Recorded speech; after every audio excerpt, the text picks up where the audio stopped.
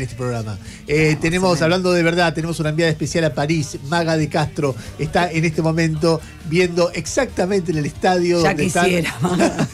No hay presupuesto, Maga, Maga. Las leonas peleando, ahí viene la serpicia a mí. Este, las, las leonas están viendo, están peleando por entrar a las semifinales, o sea, estar en cuarto de final en penales contra Alemania. Contanos, Maga, dale. Sí, así es. Están justo las leonas este, peleando por entrar a la semi. Están en penales australianos. Ya me parece que vamos uno arriba, si no me equivoco. A ver ahí si lo muestran. Este. No, está. Pasamos. A ver. Lo atajó, lo Ahí atajó. va, listo. Está 1 a Este, 0. uno arriba, Argentina le gana eh, 1 a 0 a Alemania. en Uno este arriba en un partido que eh, venía empatado uno a uno, metió un gol a Alemania en el último cuarto, son cuatro cuartos, eh, en los últimos 10 minutos y el gol fue de penal y después lo empatamos nosotros con un córner corto desviado por Juli Jancunas, que es una de las delanteras de las Leonas. Este, así que ahora Pará, están... Alemania erró los tres penales. Sí. Bueno, erró, también atajó la arquera, Bueno, no, atajó. la arquera argentina, este, que es Cristina Cosentino, que la otra vez en el partido contra Australia había atajado un penal, no como estos, estos son penales australianos, había atajado un penal directo y ahora, eh, bueno, no lo pudo atajar, pero, pero nos trajo hasta A acá. ver, son penales australianos significa que avanza Ella el, tiene el jugador, ocho- lo cubre el arquero y la jugadora eh, trata de- tiene 8 segundos para hacer un gol. Tienen 8 segundos para hacer un gol desde la línea de 25, de 25 metros. Ellas entran al área y tienen esos 8 segundos para hacer el gol. Es como si un delantero eh, fuera corriendo con el arquero y el arquero tuviera 8 segundos para evitar el, el gol. Es uno contra uno y en este momento acaba de hacer otro gol Argentina, Exacto. va 2 a 0. ¿Cuántos penales son, Maga? Son 5 y si, bueno, se- es- entiendo que si ganamos el, el próximo ya está. O sea, Eh, si de los uh, próximos tres penales, O sea- Alemania erra uno de los dos o Argentina mete el que le queda, Argentina pasa a semifinales, ¿no es Sí, cierto? y nosotros de hecho... Pará, ahí eh, viene, ahí viene. Claro, ahí estaba avanzando, empezando, ahí está. alemana. segundos la alemana. Está avanzando la alemana, la arquera Relata lo saca, eh, trata de hacer dribbling, la arquera muy bueno, Sí. muy bueno. Vamos, listo, pasamos. Listo, eh, momento histórico, Maga de Castro transmitiendo desde París, eh, el momento exacto en el cual la Argentina acaba de pasar a semifinal. Contanos, Maga, cómo sigue en París esto. Bueno, esto después sigue del otro lado, en la otra llave juegan Países Bajos contra Gran Bretaña. Nosotros ya le ganamos a Gran Bretaña 3 a 0. Lo más probable es que en esa llave gane Países Bajos. Ellas juegan hoy a las 12 y media. Este, y bueno, nosotros nos tenemos que enfrentar contra las que ganen ahí en semis. Y del otro lado eh, quedaron China y Australia, que bueno, China le ganó 3 a, 3 a 2 a Australia.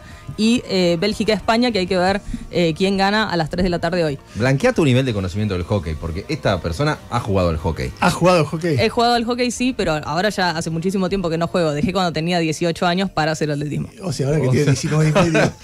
Hace Para hacer atletismo. Hace un montón de tiempo, Ah, ¿cuatro joven para años? hacer atletismo. Eh, Maga, ¿y, y vos eh, tuviste penales austra- australianos? Eh, creo que no hice, practicamos, pero nunca llegué a hacer ninguno porque no, no llegamos a esa instancia en ningún partido. ¿Y jugaste a qué nivel? Nada, a nivel muy tranqui, en un club de barrio. En un club de barrio. Este, ¿qué te iba a preguntar también? Ah, bueno, y ayer me llamaba desde París, Maga, me dice, ¿no sabes lo que está pasando con un jugador argentino de hockey masculino que juega para la selección alemania, alemana y gritó un gol contra Argentina como si fuera nada, como si fuera alemán y era argentino? Es que sí, Contanos. esto es tremendo. Eh, Gonzalo Peilat es un jugador de hockey de 31 años que jugó para la selección argentina del 2011 al 2019 y en ese año se fue porque tenía diferencias con la Confederación Argentina de Hockey. Este, él ya vivía en Alemania desde el 2016 porque es muy común acá en Argentina que los jugadores de hockey de alto nivel se vayan a vivir a Alemania o a Holanda eh, para jugar en equipos de ahí porque ahí les pagan y aparte Mm. pueden vivir en Europa. Este, y, y bueno, y ahí jugaba para, juega para el Mannheimer. Eh, con los Leones, él ganó los Juegos Panamericanos en 2015 y en 2017 y el oro olímpico en Río de Janeiro. ¿Es Eh, bueno nivel que era bueno? Es muy bueno, él es defensor, pero marcó, ponele, 176 goles en 153 partidos porque él hace muy bien una técnica que se llama arrastrada, que se usa en los corner cortos, que es eh, algo que pasa en el hockey cada vez que hay un, eh, una falta dentro del área, dan corner corto y es muy frecuente que haya goles de corner corto porque es, este, eh, como, es muy común. Corner corte es un pase a alguien que está en el medio del lugar del penal, sería. Eh, no es el lugar del tira. penal, es el borde del área. El borde del área. Claro. ¿Y él qué es entonces- lo que hacía bien? Él, hacía, él hace muy bien la arrastrada, que es una técnica eh, en la que uno empuja la bocha durante un largo recorrido para que llegue muy fuerte eh, al arco, básicamente. Este, Espera, y- y hay, hay algo que no entiendo. Porque en fútbol, vos podés de repente, habiendo nacido en un país, fichar para otro si nunca jugaste en la selección de ese país. Por ejemplo, el caso de Garnacho. Garnacho no nació en la Argentina, pero es hijo de argentinos. Y él dijo, yo quiero jugar para Argentina. Y entonces ficha Messi. si hubiera sido fichado por la selección española, jugaba para España. Eso podía pasar. Lo que no puede pasar es una vez que jugaste en la selección de, de tu país.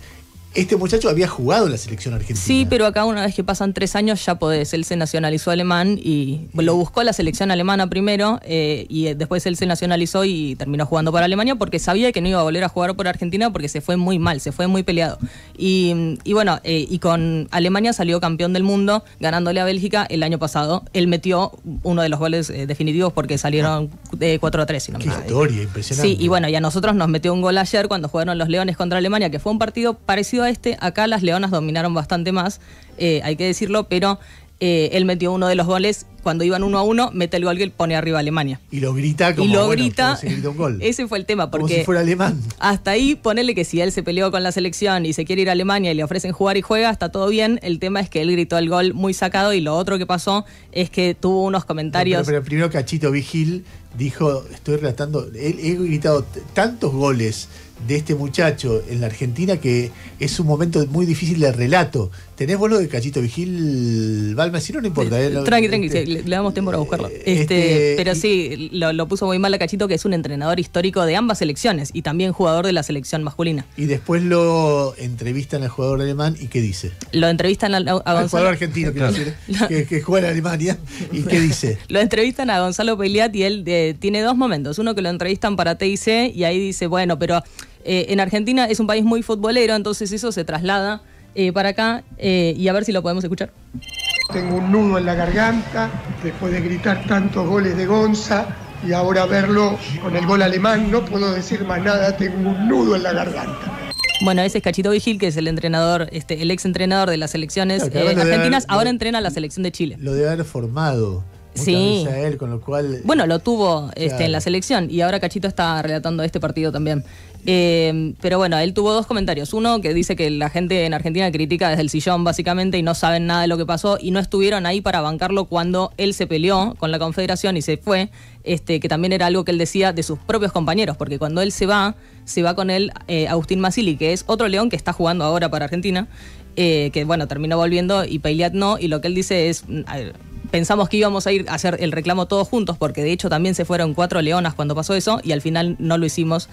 Eh, detrás de eso hay todo un trasfondo político, porque eh, el presidente de la Confederación Argentina de Hockey es eh, Aníbal Fernández, es ahora, y lo fue entre el 2013 y el 2019, si no me equivoco. y eso es justo encaja con un momento en el que se retira Luciana Aymar, no sé si la recuerdan, que es la mejor jugadora de hockey de la historia, básicamente la mejor del mundo ocho veces. Ella se retira, las Leonas entran en una etapa en la que obviamente no les va tan bien, entra Aníbal Fernández como presidente de la Confederación y hay muchas quejas por parte de los jugadores de que eh, está poniendo eh, gente, en lugares, claro, exactamente, que no corresponde. Y entonces ahí se van cuatro leonas de la selección, tres después vuelven, entre ellas Charo Luchetti, eh, Piti Y ahí se va Gonzalo. Y ahí se va Gonzalo también con esa queja. Bueno, espera, y después hizo una declaración que dijo que la sigan chupando. ¿no? Exacto, sí. ¿Tenés la declaración de Gonzalo diciendo que la sigan chupando? No, bueno, no importa.